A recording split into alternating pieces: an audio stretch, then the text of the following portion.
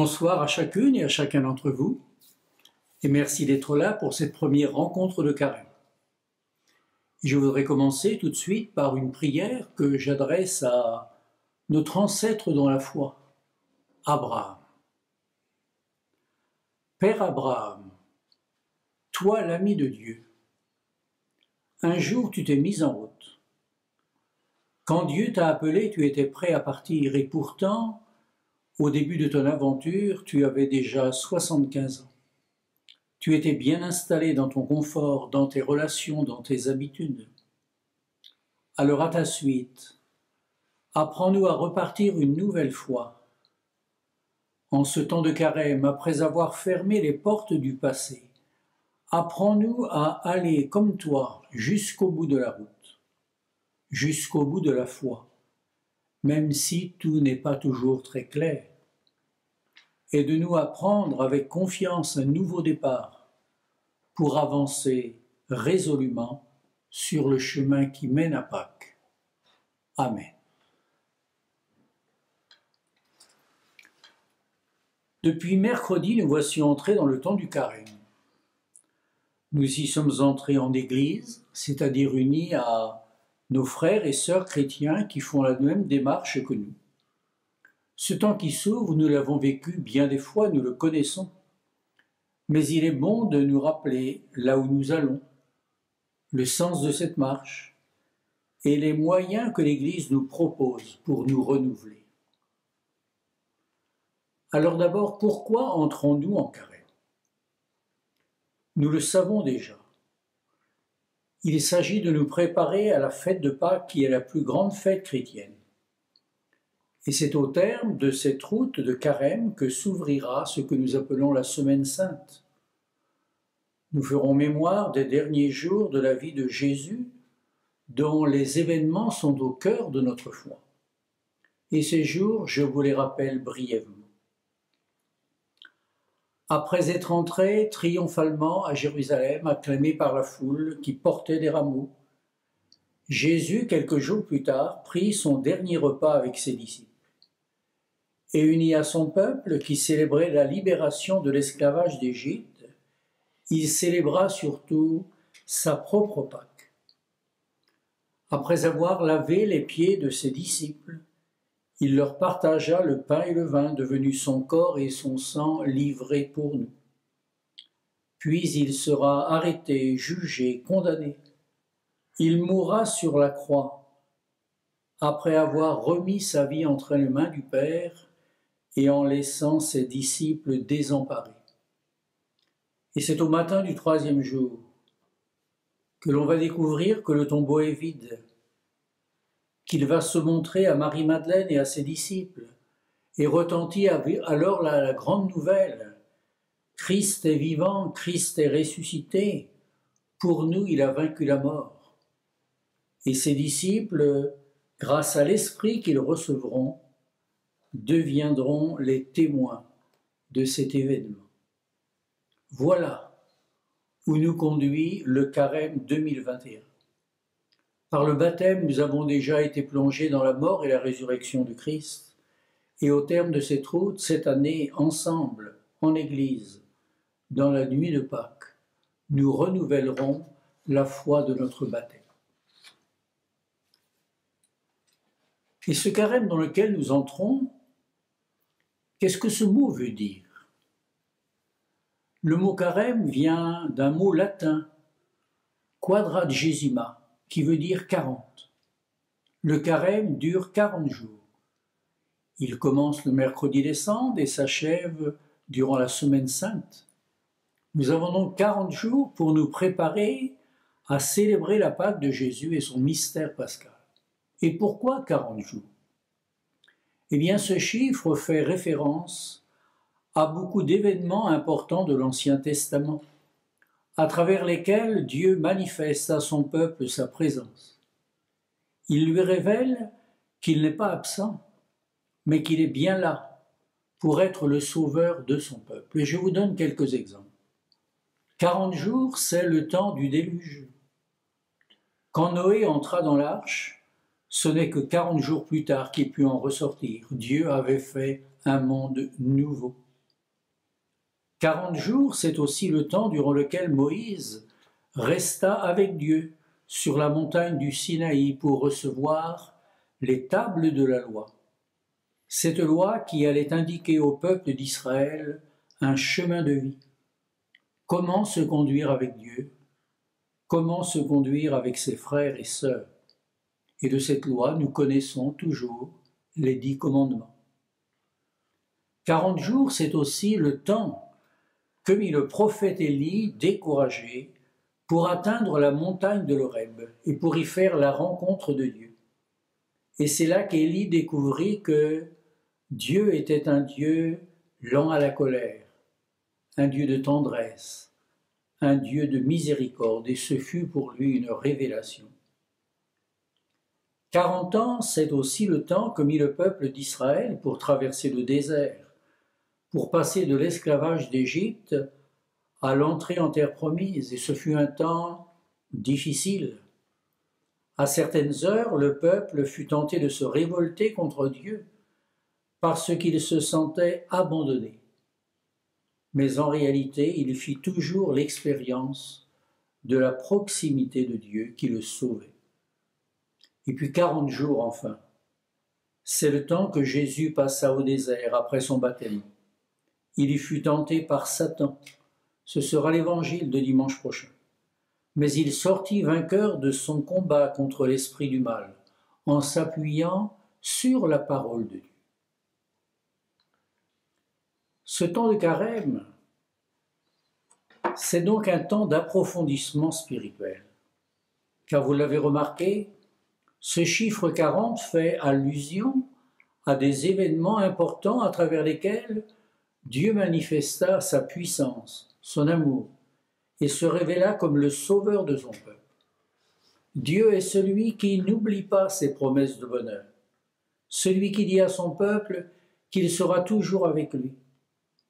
Et donc tous ces événements que j'ai cités furent l'occasion, pour ceux qui les ont vécus, d'un approfondissement spirituel, qui leur permit de se rapprocher de Dieu, de mieux le connaître, de grandir dans la foi. Et Jésus lui-même je viens de le dire, avant de commencer sa vie publique, passera quarante jours au désert. Il affrontera Satan, qui voudra le détourner de sa mission. Mais cela lui donnera l'occasion de réaffirmer que son Père est le tout de sa vie, et qu'il est venu pour faire sa volonté et pour lui demeurer fidèle. Nous, chrétiens, nous sommes entrés en carême à la suite de Jésus et avec lui, pour aller nous aussi à la rencontre de Dieu et pour renouveler notre alliance avec lui. Et ce carême que nous commençons doit nous permettre de découvrir d'abord que Dieu nous aime, que Dieu a souci de nous. Bientôt nous entendrons dans les lectures du jour cette parole du prophète Isaïe. Une femme oublie-t-elle son enfant? Cela n'existe pas. Et même si cela existait, moi, ton Dieu, je ne t'oublierai pas, car ton nom est inscrit sur les paumes de mes mains. Nous trouvons cela dans Isaïe au chapitre 49. Ce n'est pas Dieu qui oublie l'homme, mais c'est nous qui l'oublions, parce que nous sommes occupés à beaucoup de choses souvent inutiles. Le carême, c'est aussi le temps d'un combat spirituel, un temps de conversion, de conversion de notre cœur et de notre vie. Nous sommes donc invités à nous interroger sur notre manière de vivre et à nous poser des questions. Quelle place est-ce que je donne à Dieu dans ma vie? Quelle place est-ce que je donne à mes frères et à mes sœurs? Qu'est-ce qui oriente mon comportement quotidien? Suis-je un artisan de paix? De réconciliation, de justice, sur quel chemin nouveau suis-je appelé à marcher? Les questions à nous poser sont multiples et chacun est appelé à se poser les bonnes questions pour soi, pour lui, afin de renouveler sa vie et de la passer sous le regard de Dieu. Car il s'agit au fond de redevenir de vrais disciples Le carême, c'est aussi un temps de pardon, de réconciliation, à la suite de celui qui a pardonné du haut de la croix. Et personne n'échappe un jour ou l'autre à ce moment de réconciliation, que ce soit en famille, en communauté, en paroisse. Mais ce n'est pas facile. Et nous nous disons bien souvent, mais qui doit faire le premier pas? Souvent notre amour-propre s'y refuse. Et pourtant, derrière la porte que je garde fermée, si j'accepte de l'ouvrir, il y a la joie retrouvée qui nous attend. Alors il faut demander au Seigneur de nous faire la grâce du premier pas. Et puis ce carême est aussi un moment où il faut nous laisser habiter par la joie. Et cet aspect me semble très important. Le carême n'est pas un moment triste. Nous sommes en marche vers la célébration de la victoire du Christ. Et le but, c'est bien la joie de Pâques. Et elle doit nous accompagner tout au long de ce carême. Et le quatrième dimanche de carême sera pour nous y aider le dimanche de la joie. Nous entendrons les prophètes nous dire Réjouissez-vous, exultez, soyez pleins d'allégresse, Dieu est riche en miséricorde et il va nous sauver. Nous sommes invités au combat spirituel, mais aussi à la joie, parce que, en Jésus ressuscité, nous sommes déjà vainqueurs du mal. Comme euh, chaque année, notre carême a commencé avec le mercredi des cendres. En venant recevoir les cendres, nous avons été invités à reprendre conscience que nous sommes des pauvres. Souviens-toi que tu es poussière et que tu retourneras en poussière, disait autrefois la liturgie. Et cette parole voulait nous rappeler que nous ne sommes pas grand-chose, mais que c'est l'Esprit de Dieu qui fait de nous des fils de Dieu. Aujourd'hui, la parole est plutôt change ton cœur et croise à l'Évangile. C'est une invitation à la conversion. Il s'agit de changer de vie en tournant davantage son cœur vers Dieu et vers ses frères et sœurs. Et le carême de cette année a une particularité. Nous le vivons à un moment difficile. Nous sommes affectés par une pandémie qui n'épargne personne nous risquons de nous laisser envahir par la peur, la peur du virus, la peur des autres, donc de nous renfermer sur nous-mêmes, de nous protéger, de nous mettre à l'abri pour n'être pas atteints. Dans une telle situation, nous prenons conscience que nous sommes des pauvres, que nous sommes fragiles, et cette fragilité nous atteint tous. Il n'y a pas si longtemps, nous nous pensions très fort, très sûr de nous, très sûr de notre pouvoir, incapable d'imaginer ce qui nous arrive aujourd'hui et qui pourtant touche le monde entier. Cette situation de pauvreté que nous vivons rejoint ce que nous propose le carré. Mais ce temps que nous commençons ne nous conduit pas à la dépression. Il nous dit au contraire que tout n'est pas perdu parce que le Seigneur est là avec nous, proche de nous, et qu'il veut nous sauver. C'est notre chance de chrétien de vivre le carême en ce temps de pandémie, car notre foi nous révèle que nous ne sommes pas seuls, mais dans la main de Dieu. Et comme nous l'a dit le pape François dans son message, ce temps de carême est donc un temps de grâce, un temps qui doit nous redonner l'espérance. Confinés chaque soir à la maison, nous pouvons donner davantage de temps au Seigneur et à celles et ceux qui nous entourent. Et je voudrais maintenant vous indiquer quelques pistes pour ce carême 2021, pour bien le vivre. Et ces pistes, je ne les invente pas.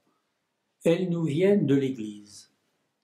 Et l'Église elle-même les a reçues du Seigneur Jésus lui-même. Et ces pistes nous interrogent sur l'essentiel, notre relation à Dieu, notre relation à nous-mêmes et notre relation aux autres. Alors écoutons pour nous y aider le texte d'évangile du mercredi décembre. Il est tiré de l'évangile selon saint Matthieu au chapitre 6.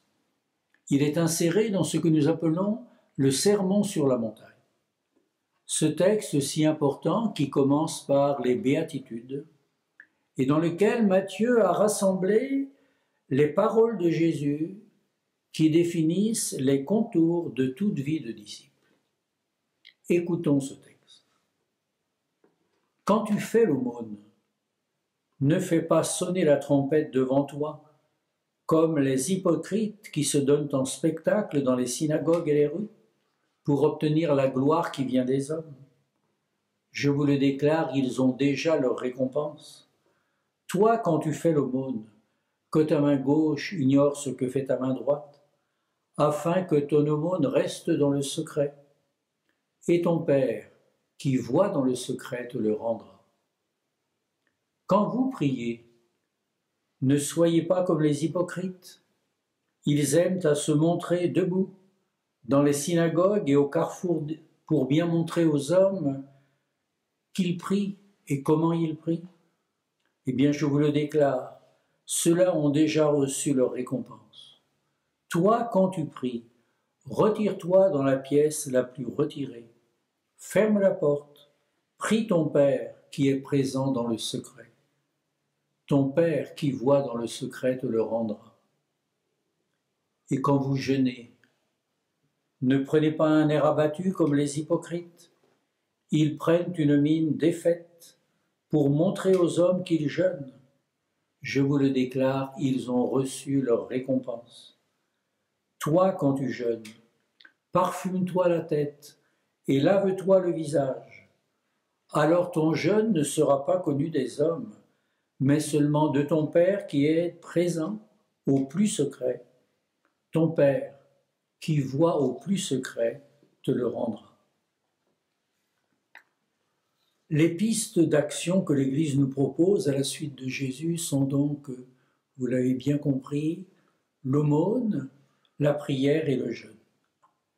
Mais pour chacune de ces propositions, Jésus fait la même remarque.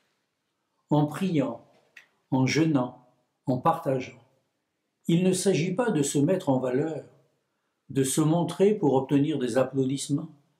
Il nous dit Laissez à Dieu et à lui seul, laissez à votre Père qui voit dans le secret le choix et le moment de la récompense. Alors regardons chacune de ces pistes rapidement. Je commence par la prière. Elle nous interroge sur notre relation avec Dieu.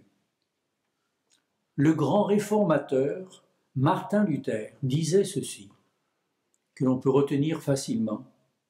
Le travail du sabotier, c'est de faire des sabots. Le travail du chrétien, c'est de prier. Pourquoi prier? Pour reconnaître que nous tenons notre vie de Dieu. Il nous a voulu, il nous a appelés à la foi, il nous accompagne, sa parole nous guide sur le chemin de la vie. Mieux encore, son esprit nous habite et il demeure en nous.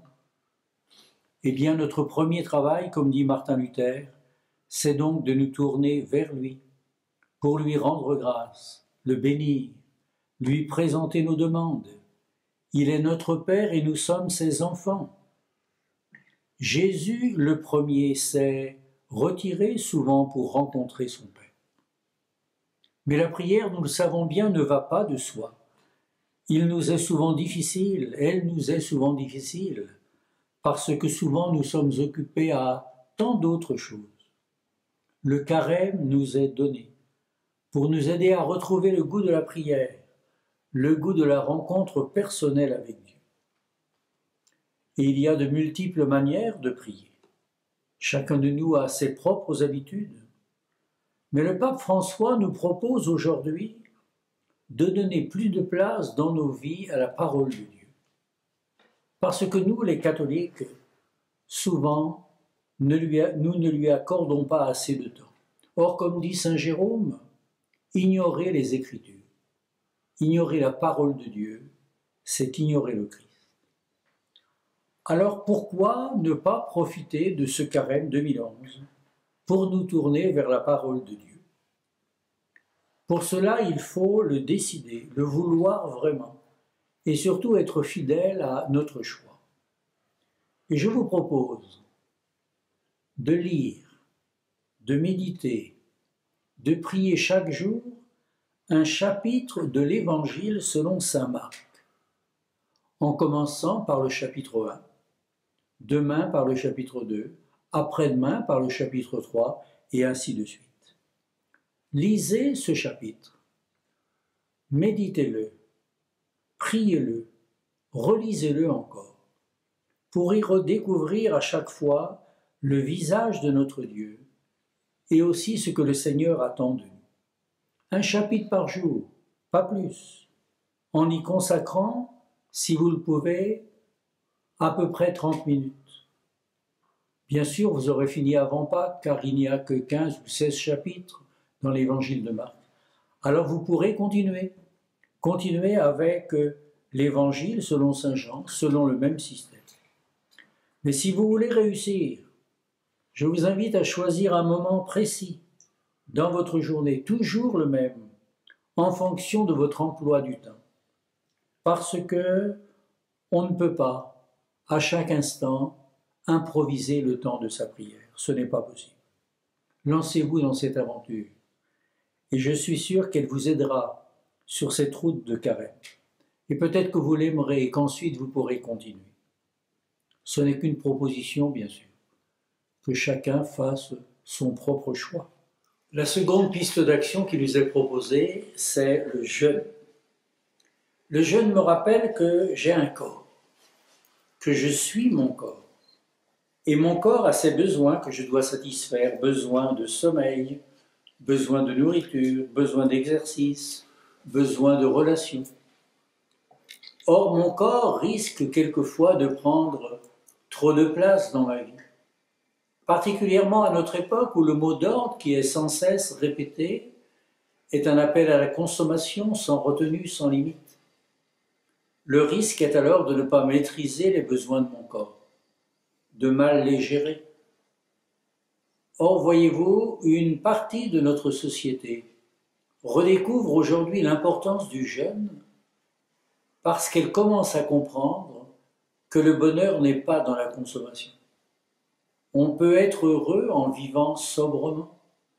Et c'est pourquoi autour de nous, un certain nombre de personnes pratiquent le jeûne pour des raisons variées. Le pape François nous invite à aller dans cette direction, à réduire nous aussi notre consommation pour la sauvegarde de notre maison commune, et nous en reparlerons durant ce week-end. Mais pour le chrétien, il y a encore un peu plus. Jeûner, c'est aussi vouloir rester en éveil, refuser de nous endormir, car nous sommes dans l'attente du Seigneur. Nous allons vivre la Pâque au cours de laquelle Jésus a tout donné jusqu'à sa vie. Jeûner, c'est entrer dans ce mouvement de Jésus qui donne tout. Et puis jeûner, c'est aussi se faire proche de celles et de ceux qui manquent du nécessaire, ils sont très nombreux autour de nous. Jeûner, c'est quoi? C'est être solidaire, choisir de ressentir en soi-même un manque, un vide, en union avec tous les exclus d'aujourd'hui. Alors en ce temps de carême, l'Église nous propose deux jours de jeûne, le mercredi décembre et le vendredi saint.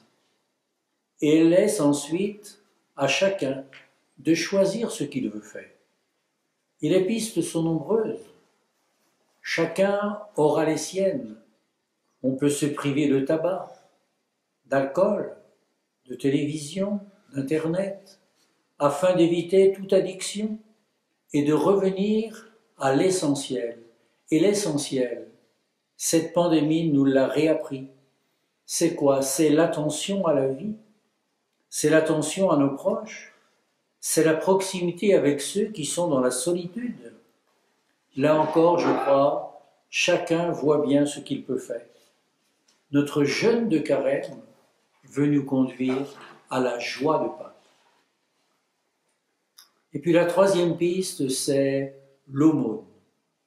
Si la prière nous tourne vers Dieu, Si le jeûne nous tourne vers nous-mêmes pour maîtriser notre vie, l'aumône veut nous tourner vers les autres, vers celles et ceux qui nous entourent et qui sont nos frères et sœurs dans le Christ. Alors l'aumône, ce mot peut paraître un peu vieillot, parce qu'il nous fait penser à cette pièce que l'on met dans la main du mendiant qui nous sollicite dans la rue. Mais l'aumône évangélique, c'est bien plus que cela. Il s'agit de développer en nous le goût du partage avec celles et ceux qui sont dans le besoin et qui attendent mon aide. Il s'agit en réalité, en faisant l'aumône, de partager avec un frère, une sœur en humanité, qui se trouve en situation de fragilité, qui a besoin de moi. Partager, ce n'est pas faire un geste à son égard et puis ensuite l'oublier. Partager, c'est lui montrer qu'il a du prix à mes yeux, qu'il compte dans ma vie, et que je me tourne vers lui parce que nous appartenons à la même famille, à la même humanité. Je partage parce que j'ai compris que j'ai un devoir d'entraide envers lui. Pour partager vraiment, il faut, comme Jésus, avoir de la compassion envers nos frères et sœurs. Et l'on peut penser facilement à la parabole du bon samaritain. Un homme est là, gisant sur le bord de la route après l'agression dont il a été victime le bon samaritain va lui faire d'abord l'aumône de s'arrêter, puis l'aumône de se pencher vers lui, de le soigner, de l'emmener à l'hôtellerie, et aussi l'aumône de continuer à se préoccuper de lui, même au moment de le quitter. L'aumône de ce samaritain, elle va finalement jusqu'où Eh bien, cette aumône peut prendre pour nous des formes très diverses l'aumône d'un peu d'argent. Cela reste nécessaire aujourd'hui. Mais je peux faire aussi l'aumône de mon temps, de multiples façons.